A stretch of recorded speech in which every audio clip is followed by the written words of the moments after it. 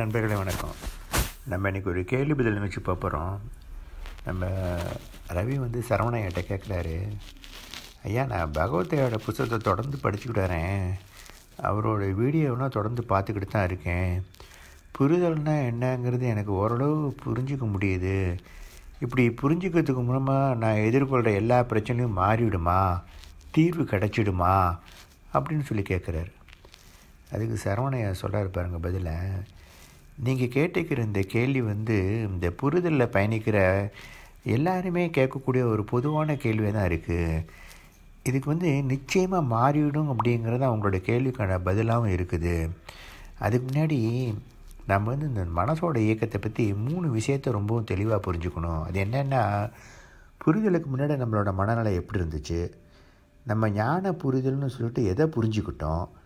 புரிஞ்சுக்கிட்டதுக்கு அப்புறமா நம்மளோட மனநிலை எப்படி இருக்கணும்? அப்படின்னு இந்த மூணு விதத்தில் நம்ம பா பார்க்க வேண்டியிருக்கு.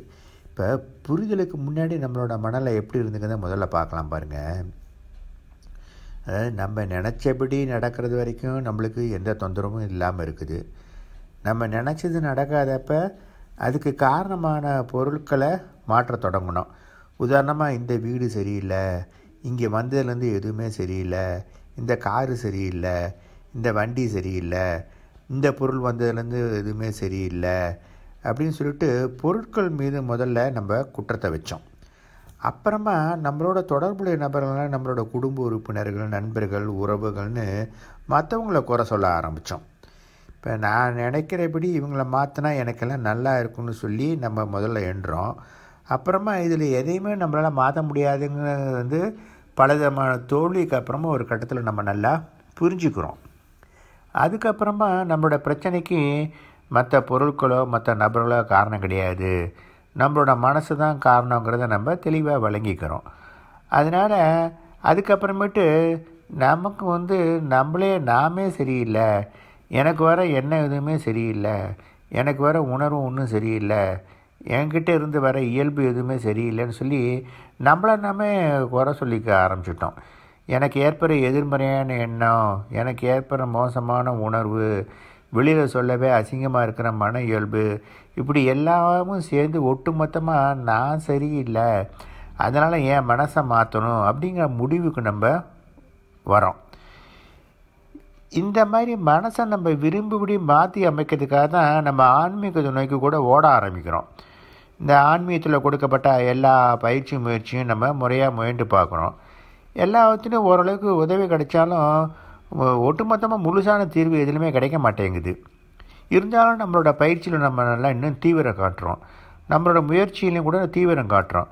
ஆனால் எல்லாத்துலேயுமே நம்ம தோல்வியை மட்டுமே சந்திக்கிறோம். அப்போ கூட நம்ம வந்து நம்மளை தான் குறை காட்டுறோம் பயிற்சி கொடுத்தவங்க நல்லா தான் கொடுத்துருப்பாங்க. நம்ம தான் அதை சரியாக செய்யலை அப்படின்னு நம்ம நினச்சிக்கிட்டு திரும்பவும் வந்து நம்மளை நம்ம தான் குற்றம் சாட்டிக்கிட்டே இருக்கிறோம். அந்த ஆன்மீக அமைப்பில் நமக்கு முன்னாடி பயிற்சி சொல்லிக் கொடுக்குற ஆசிரியர்கள் பயிற்சியாளர்கள் அப்படி பல பேரும் கூட இருந்திருப்பாங்க. அவங்களோட செயல்பாட்டோட நம்ம செயல்பாட்டை ஒப்பிட்டு பார்க்கும்போது ஒரு சமயத்தில் வந்து அவங்கள காட்டணும் நம்ம இருக்கிற நிலையை கூட எவ்வளோ தேவையில்லாப்பல் இருக்கு அப்படிங்கிற எண்ணம் கூட நம்மளுக்கு வந்துடும் மேலும் அவங்க சொல்கிற வழிமுறைகள் கருத்துக்கள் நம்மளுக்கு நிறைவாக அளிக்கிற மாதிரி இல்லையே இந்த மாதிரி வழி தெரியாமல் தவிர்க்கிற நமக்கு வேறு ஏதாவது வழி கிடைக்காதா அப்படின்னு மனம் முடிஞ்சிற நிலையில் நம்ம இங்கே ரொம்பவும் ஏங்கி தவிச்சு போய் நிற்கிறோம் இப்போ தான் இந்த மனித குலத்தோட ஒட்டுமொத்த மன துன்பத்துக்கு தீர்வாக இருக்கிற நம்மளோட பகவத் ஐயாவோட அரிய கண்டுபிடிப்பான இந்த மனசோட இயக்கத்தை பற்றிய புரிதலுங்கிற மாமருந்து வந்து நம்மளுக்கு ஒரு தீர்வாக கிடைக்கிது. அதுக்கப்புறமேட்டு தான் இந்த மன இயக்கம் எப்படி செயல்படுது? அப்படிங்கிற ஒரு புரிதலே நம்மளுக்கு ஏற்படுது. இப்போ இந்த புரிதல்னால் என்ன? நம்ம எதை புரிஞ்சுக்கணும் அப்படிங்கிறத பற்றியெல்லாம் நம்ம நாளைக்கு கொஞ்சம் விவரமாக பேசலாம். நன்றி வணக்கம். நண்பர்களே வணக்கம். நம்ம வந்து இன்றைக்கி இந்த புரிதல்னால் என்ன? நம்ம எதை புரிஞ்சுக்கணும் அப்படிங்கிறத பற்றி பார்க்க போகிறோம்னு சொன்னோம். நம்மளோட மனசோட இயக்கம் வந்து நம்மளுக்கு கட்டுப்பட்டதே கிடையாது. அது முற்றிலும் இயற்கையானது அப்படிங்கிறத புரிஞ்சுக்கிறதும் நம்ம ஞானம்னு கூட சொல்கிறோம் இப்போ வந்து நம்ம சின்ன பிள்ளையாக இருந்தப்ப எல்லா விதமான எண்ண உணர்வும் தங்கு தடை இல்லாமல் அப்படியே தோன்றி தோன்றி மறையிற ஒரு விடுதலை இயக்கத்தோடு தான் இருந்துக்கிட்டு வந்திருக்குது. இந்த பருவ வயதை அடைஞ்சது அறிவு அறிவோட வளர்ச்சி கொஞ்சம் வந்த பிறகு தான் இந்த விடுதலை இயக்கத்தில் வந்து நம்மளோட அறிவு குறுக்கீடு செஞ்சு ஒரு போராட்டமாக அந்த இடத்துல வந்துடுது இந்த போராட்டம் தான் நம்ம சந்திக்கிற எல்லா பிரச்சனைக்குமே கூட மூல காரணமாக கூட அமைஞ்சு போயிடுது. அப்புறமா நம்மளோட மனசோட இயக்கம் வந்து நம்மளுக்கு கட்டுப்பட்டது கிடையாது அப்படிங்கிறத வந்து நம்மளோட அறிவு பகுதி புரிஞ்சிக்குது. இப்படியே அறிவு புரிஞ்சுக்கிட்டு மன இயக்கத்தில் தடையில்லாமல் அதன் போக்கில் செயல்பட அனுபவிக்கிறது தான் நம்ம இங்கே ஞானம்னு கூட சொல்கிறோம் இந்த மாதிரி மன இயக்கம் விடுதலையோடு இயங்கிறது தான் நம்ம விடுதலைன்னு கூட சொல்கிறோம் இப்படி புரிஞ்சுக்கிட்டதுக்கு அப்புறமா நம்மளோட மன இயக்கத்தை நம்ம எப்படி பார்க்கணும்? அப்படிங்கிற கேள்வி வருது. இப்போ நம்ம மன இயக்கங்கிறது நம்மளுக்கு கட்டுப்பட்டது கிடையாது. நமக்கு ஏற்படுற எண்ணங்களில் நம்மளுக்கு எந்த விதமான வேலையும் கூட கிடையாது. அதே மாதிரி நம்மளுக்கு ஏற்படுற உணர்வுகளில் கூட நம்மளுக்கு எந்த விதமான வேலையும் இல்லை. அப்படிங்கிறத வந்து நம்ம முதல்ல நல்லா புரிஞ்சுக்கிறோம். அதே மாதிரி ஒரு சூழ்நிலையை நம்ம சந்திக்கிறப்ப மனசில் வந்து நம்மளோட இயல்புக்கு ஏற்ற மாதிரி என்ன உணவு தான் வெளிப்படுது. அதுதான் ரொம்ப இயற்கையும் கூடன்னு நம்ம புரிஞ்சுக்கிறோம். நம்மளோட இயல்பு வெளிப்பட்டதுக்கு அப்புறமேட்டு தான் நம்மளுக்குள்ளாரியே இந்த மாதிரி ஒரு இயல்பு கூட நம்ம மனசுக்குள்ளே இருக்குது அப்படிங்கிறத நம்ம அறிஞ்சிக்க கூட முடியுது. அதையும் கூட அதுக்கப்புறமா நல்லா தெரிஞ்சுக்கிறோம் நம்ம. நமக்கு தோன்ற மோசமான எண்ணம் உணர்வாக இருந்தால் கூட அது எல்லாமே முடிஞ்சு போன நிலையில் தான் மட்டும்தான் நம்மளால் அது எல்லாத்தையும் அடையாளங்கன்னு உணர முடியுதுங்கிறதையும் கூட நம்ம நல்லா புரிஞ்சுக்கிறோம். அதனால் இங்கே வந்து எண்ணத்துலேயும் நம்மளுக்கு வேலை கிடையாது உணர்வுலேயும் நம்மளுக்கு வேலை கிடையாது இயல்புலேயும் நமக்கு எந்த வேலையும் கிடையாது. மொத்தத்தில் வந்து இந்த மன இயக்கத்தில் நம்மளுக்கு சுத்தமாக எந்த வேலையும் இல்லை அப்படிங்கிற வந்து முடிவுக்கு நம்ம தானாகவே வந்துடுறோம் நம்ம. அதுவும் வந்து முடிவுக்கு வந்து ஒரு தீர்க்கமாக வந்துடுறோம் நம்ம. இது நாள் வரைக்கும் நம்மளை மாற்றுறதுக்காக நம்ம எடுத்து வந்த எல்லா முயற்சியிலேருந்து நம்ம இதனால் நம்ம அதுலேருந்து விடுபட்டு போயிடுறோம். இந்த எண்ணங்களை சீரமைக்கிறது உணர்வோட மாற்றி அமைக்கிறது இயல்பை சரி செய்கிறது அப்படி எல்லா விதமான மன செயல்பாட்டிலேருந்து நம்ம டோட்டலாக விடுபட்டுடுறோம். மன இயக்கம் வந்து முற்றிலுமே இயற்கையானது தான்.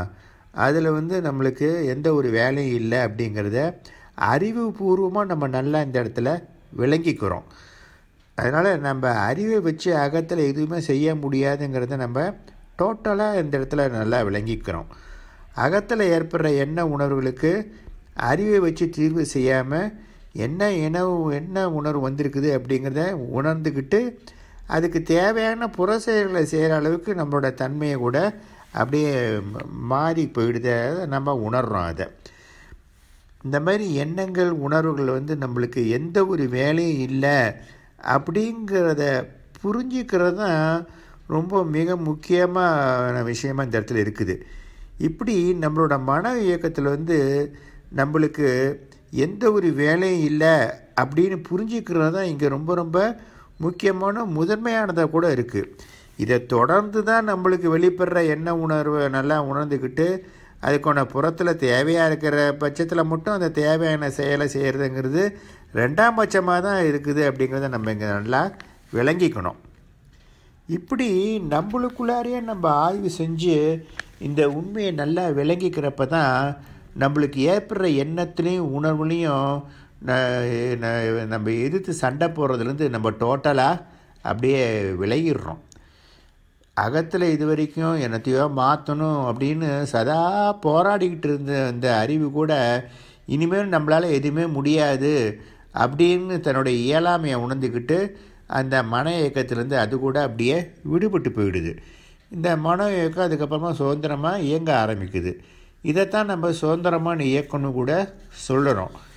இப்படி புரிஞ்சிக்கிறப்ப நம்ம சந்திக்கிற எல்லா நிகழ்வும் நம்ம வேறு ஒரு புதிய கோணத்தில் பார்க்குற நிலைமைக்கு கூட நம்ம வந்துடுறோம். இப்போ இந்த புறப்பொருள் மற்ற நபர்கள் நம்முடைய எண்ணம் நம்முடைய உணர்வு இயல்பு இப்படி எதுவுமே வந்து ஒன்றும் மாற்றம் அடையலை எல்லாமே அதாவது அதே மாதிரி தான் இருக்குது. ஆனால் இதையெல்லாம் பார்க்குற பார்வையில் வந்து நம்மளோட பார்வை வந்து முற்றிலுமாக அப்படியே மாற்றம் ஏற்பட்டு போயிடுது. இந்த மாற்றத்தை தான் நம்ம வந்து புரிதல்னு சொல்கிறோம் இப்படி புரிஞ்சுக்கிறதால மட்டும்தான் நம்மளால் புரிதலுக்கு அப்புறமேட்டு எல்லா விஷயத்தையும் ரொம்ப எளிமையாக கூட எதிர்கொள்ள முடியுது. மனசோட இயக்கத்தை புரிஞ்சுக்கிட்ட நிலையில் நம்மளோட அணுகுமுறை வந்து டோட்டலாக ஒரு புதிய கோணத்துக்கு அப்படியே மாறி போயிடுது. நன்றி வணக்கம்.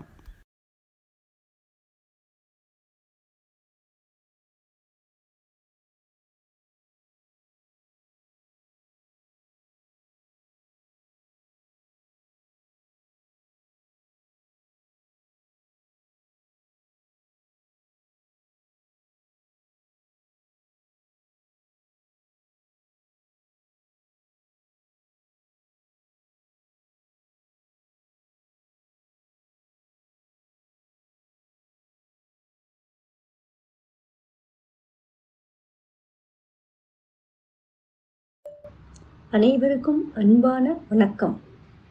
ஸ்ரீ பகவத் ஐயா அவர்கள் நம்மோடு வாழ்ந்து கொண்டிருக்கும் ஞானி. இவரால் ஞான தெளிவு பெற்றவர்கள் பலர். ஒவ்வொரு மாதமும் வெளிவந்து கொண்டிருக்கும் பகவத் பாதை மாத இதழ் மாதந்தோறும் ஞானத் தெளிவு தரும் ஐயாவின் கட்டுரை அன்றாடம் எதிர்கொள்ளும் பிரச்சனைகளுக்கான கேள்வி பதில் ஞானத்தை எளிதாக புரிய வைக்கும் ஜென் கதை என அனைத்தையும் தாங்கி வந்து கொண்டிருக்கிறது. பகவத் பாதை தற்போது ஒளிபாதையாக திருச்சி குழந்தை நல மருத்துவர் டாக்டர் முத்துக்குமார் அவர்களின் உரையில் வெளியிட்டுள்ளோம். மேலும் ஸ்ரீ பகவத் மிஷனில் இருந்து சத்சங்கங்கள் ஞான முகாம்கள் நடைபெறுகின்றன. மேலும் விவரங்களுக்கு தொடர்பு கொள்ள